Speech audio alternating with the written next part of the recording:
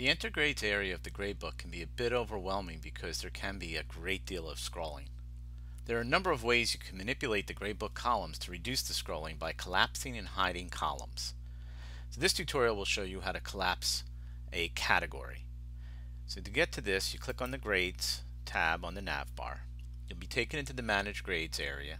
Click on Enter Grades. So when you come into the Enter Grades area, you'll notice that there's a lot of scrolling. I got to scroll down and then to see all of my columns I got to scroll a long way over.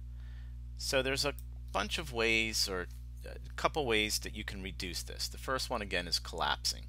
So to collapse the category you click on the minus icon next to the name of the category. So what this will do is that all of the grade items within the category will collapse so that you can see how it reduces the scrolling.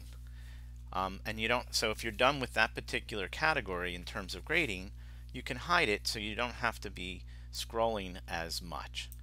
To expand it to see it at any time, and, and also that the subtotal column does show up. And this column shows the cumulative score for all the grades items within that category. To expand the category, just click on the plus icon next to the category name. So that's how you collapse and expand categories to kind of reduce the amount of scrolling.